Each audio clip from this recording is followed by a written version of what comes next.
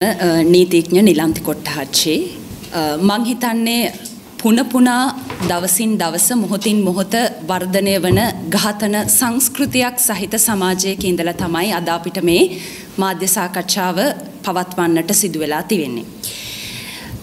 ඕනෑම රාජ්‍යයක් ඕනෑම සමාජයක් දියුණුයි කියලා අපි මනින්නේ ඒ සමාජය හෝ රාජ්‍ය ආර්ථික වශයෙන් වන මිනුම් දඬු වලින් පමණක් නම් ඇත්තට මේක සීයට සීයක් නිවැරදි මැනීමක් මිනුමක් කියලා අපිට විශ්වාස කරන්න අමාරුයි.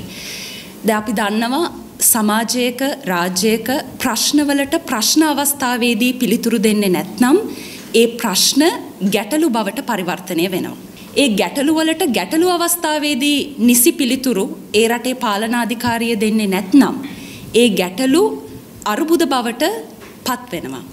අර්බුදයකදී අර්බුදයකට අවශ්‍ය කරන පිළිතුරු විසඳුම් ඒ පාලනාධිකාරිය සපයන්නේ නැත්නම් ඒ අර්බුදය ව්‍යසනයක් බවට පත්වෙනවා දැන් අපි රටක් විදිහට ඒ රටක ජීවත් වන මිනිස්සු විදිහට අපි ඉන්න දැන් මහා දරුණු විපාකයක ව්‍යසනයක.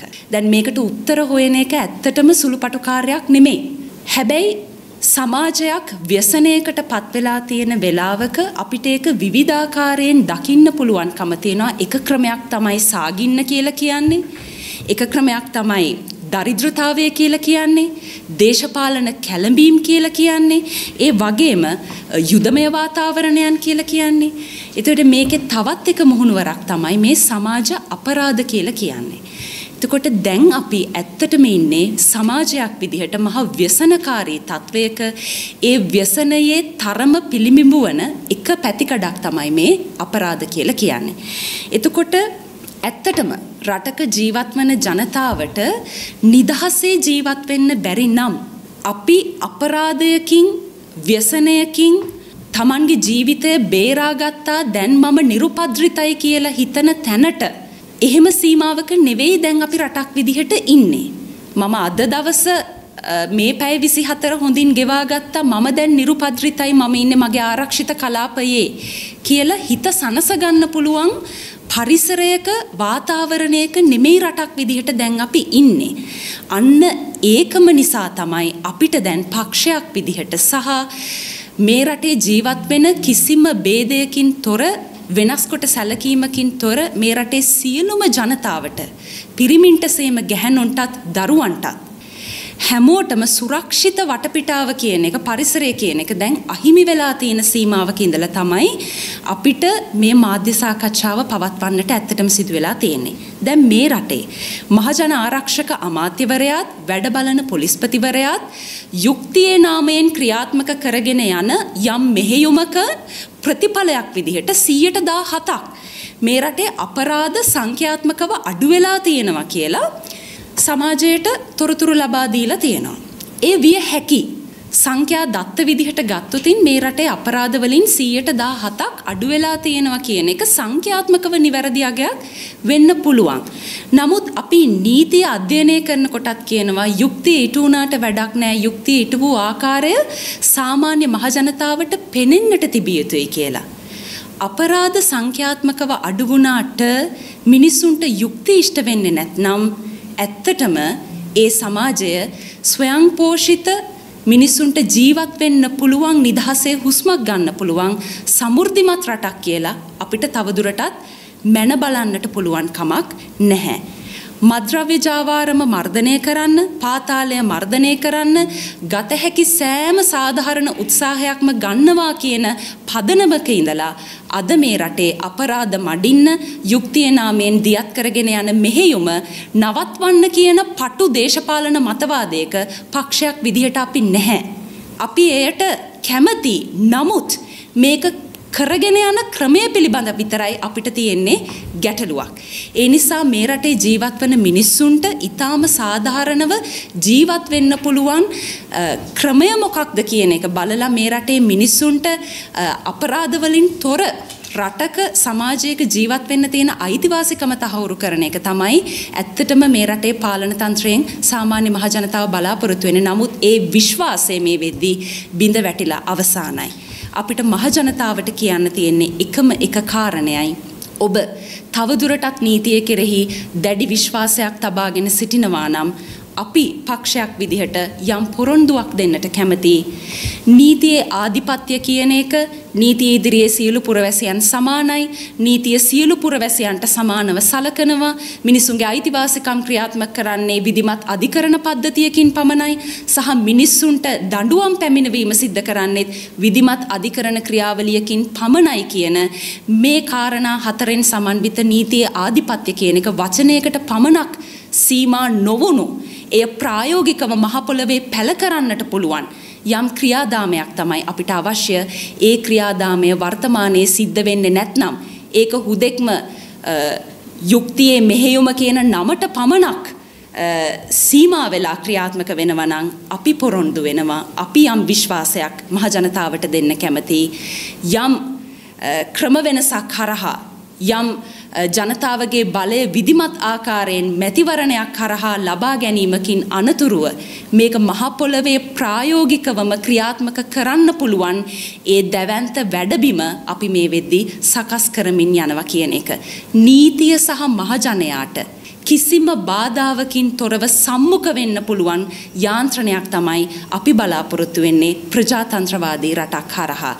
නීතියත් මහජනතාවත් කියන දෙකොට්ටාශය මැදට දේශපාලන අතපෙවීම් කියන එක ඉවත් ගුණුදාට තමයි මේ රටේ මහජනතාවට ඇත්තටම යුක්තියේ දෙවංගන කෙරෙහි විශ්වාසය සීයට සීයක් නෙමේ සීයට දහසක් තබන්නට පුළුවන්කම ලැබෙන්නේ. ඒ නිසා යුක්තිය නාමයෙන් කරන සෑම මෙහෙයුමකදීම අවසන් ප්‍රතිඵලය විදිහට නිලධහරීන් බලාපොරොත්තු වෙන්නේ මේ රටේ පාලකයන් බලාපොරොත්තු වෙන්නේ තවදුරටත් මහජනතාවගේ මතවාදය වෙනස් කරමින් ඔවුන්ව මුලාවට පත් කරමින් යම් දේශපාලන වාසි ලබා ගැනීම නම් ඇත්තටම මහජනතාව මීට වඩා දැනුම්වත් මහජනතාව මීට වඩා බුද්ධිමත්ව ඒ දෙස විමසා බලනවා ඉතාම සුරක්ෂිතව කියන එක තමයි අපිට පක්ෂයක් විදිහට අපේ ස්ථාවරය බවට පත් වෙලා තියෙන්නේ. ඒ නිසා අපරාධවලින් තොර රටක් අපිට අවශ්‍යයි. මොකද ප්‍රමාණාත්මක වෙනස්කම් තමයි ගුණාත්මක පරිවර්තනයන් ඇති කරන්නේ හැම විටම සමාජයක් ඇතුලේ.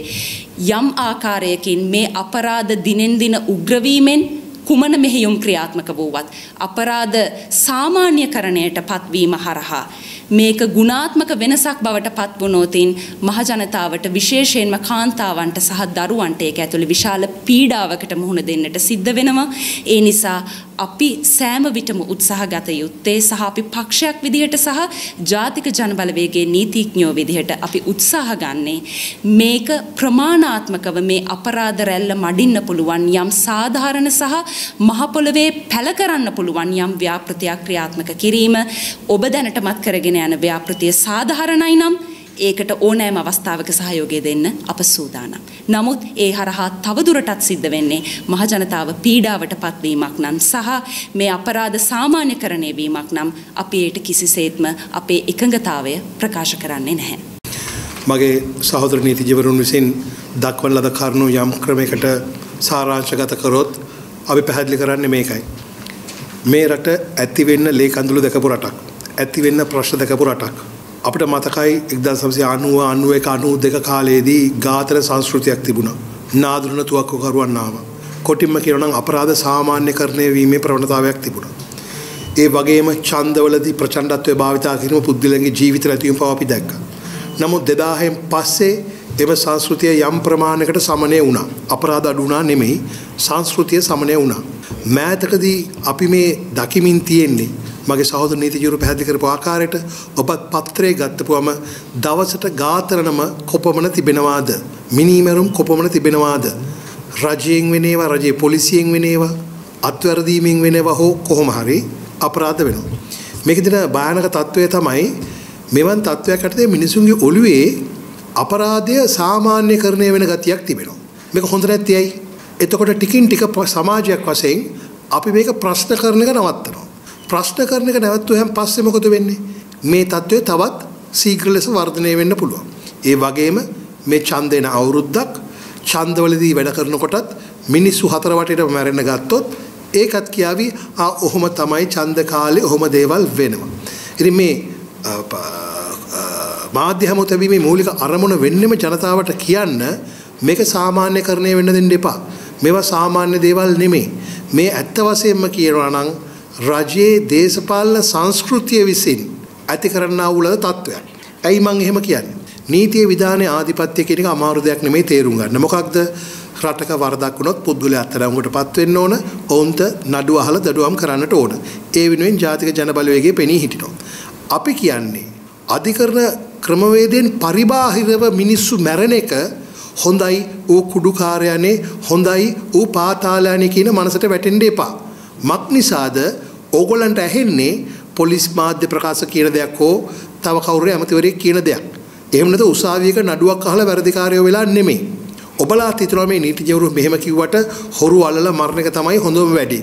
ඔහු හොරෙද්ද නැද්ද කියලා අපි කොහොමද දන්නේ? මාධ්‍ය වලින් කියන දේවල් අනුවද? පොලිස් දෙපාර්තමේන්තුවෙන් දත් අනුවද? අන්න ඒකයි මම කියන්නේ ජනතාවට විශාල වගකීමක් තියෙනවා මේ සාමාන්‍ය කරණීමෙන් වළක්වන්නත් අධිකරණයෙන් පරිබාහිරව පුද්ගලයන්ගේ ජීවිතේ නැතිවීම අපරාධවලට දඩුවම් කිරීම අධිකරණ පද්ධතියෙන් පරිබාහිරව කරන්න ගියපුවම තමයි රටේ නීතිය විධානයේ ආධිපත්‍ය නැති වෙන්නේ. සෑම පුද්ගලයෙක්ම ධනය බලය කෙසේ වෙතත් ආගම ජාතිය මොකක් වුණත් එකම නීතියට යටත් විය යුතුමයි. අන්න ඒ නයින් කල තමයි පොලිස් අමාත්‍යවරයාත් දේශබන්දු විසිනුත් කරන ලද ප්‍රකාශන සහ ක්‍රියාකලාපයන් පිළිබඳ අපේ දැඩි විවේචනයක් තිබෙන්නේ. එහෙම නැතුව ඒක පෞද්ගලික ආරෝවක් නෙමෙයි. මේ තත්ත්වය නිර්මාණය කරෙත් මේ රටේ දේශපාලන සංස්කෘතියම තමයි. ඔබලාට මතක ඇති ගෝඨාභය රාජපක්ෂ දසල කියනවා මම කිව්වම කරන්න ඕනේ. මගේ කටේ වචනේ තමයි සර්කියුලර්. මම ජනාධිපති. රනිල් වික්‍රමසිංහ කියලා කියනවා මේ පෝස්ට් ඔෆිස් එක දෙනවද නැද්ද? තර්ජනය කරනවා. එතකොට පොලිස් අමාත්‍යවරයා කියනවා ගැහුවොත් ගහන්න ඕන. පොලිසියට 아무තු එක කියා දෙන්න අවශ්‍ය වෙන්නේ නැහැ. නේ? අමුතුවෙන් අවශ්‍ය නැහැ. ඔවුන්ට ආත්ම ආරක්ෂා අයිතිය තිබෙනවා. ඔවුන්ටත් නිසි බලය ප්‍රමාණවත් ලෙස දා පුද්ගලයා අත්අඩංගුවට ගන්න පුළුවන්. නමුත් මේ ආකාරයට කියන එකෙන් පහලට ගලන පණිවිඩේ තමයි ඕගොල්ල මොන වර්ධ කරත් මොන මානහිමකම් කැඩුවත් අපි රජයක් වශයෙන් බලා ගන්නවා. අන්න එතකොට තමයි නාරම්මල වගේ සිදුවීම් වෙන්නේ. මේක විවේචනය කරේ අපි විතරක් නෙමෙයි. එක්සත් ජාතීන්ගේ මානව හිමිකම් සංවිධානය මේ පිළිබඳ විවේචනය කරලා තිබෙනවා.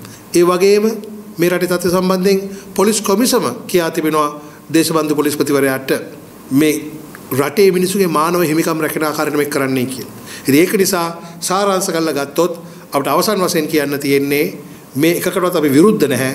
නමුත් ඔව් විරුද්ධ නැහැ.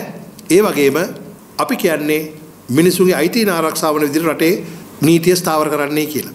ජාතික ජන බලවේගයට ඒ හැකියාව තිබෙනවා. මොකද ජාතික ජන බලවේගයේ බලයට එන්නේ මහජන කැමැත්තෙන්.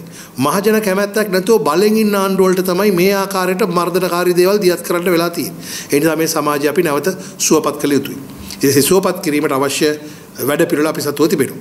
ඊට අමතරව අවසාන වශයෙන් මම කියනවා මේ මෑතකදී අද දිනේදී අපිට අවධානයට ලක් වුණා යම් WhatsApp පණිවිඩයක් හුවමාරු වෙනවා නීතිජීවරුන්ගේ දෙන්නේගේ නම් දාලා නොම්බරත් සමග නොමිලේ ඔන්ලයින් සේෆ්ටි බිල් මාර්ගස්ථ ක්‍රමවල සුරක්ෂිත භාවය පිළිබඳ පනතට කවුරු හරි පොලිසිය ඇවිල්ලා හැරස් කරෝතින් හිරිහැර කරෝතින් ඒවට නොමිලේ පෙනී සිටිනවයි කියලා ජාතික ජන බලවේගයේ නීතිඥවරුන්.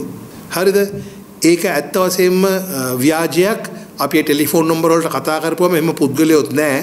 ඒ වගේම අපේ නීතිඥ සාමූහිකයින් ඉන්න හැම නීතිඥවරයාම පෞද්ගලිකව තමන්ගේ ප්‍රැක්ටිස් එකක් තියෙන අය අපිට නීතිඥ වෘත්තියේ අපි කරන සේවයන් ඇඩ්වර්ටයිස් කරන්න දැන්වීම් පළ කරන්න අපිට වෘත්තියේ උත්සාහ නම් ඒ නිසා ඒ දේ ඔබට ඒ WhatsApp පඩේට ලැබිලා තියෙනවා නම් කරුණාකරලා තේරුම් ගන්න එක ව්‍යාජයක්.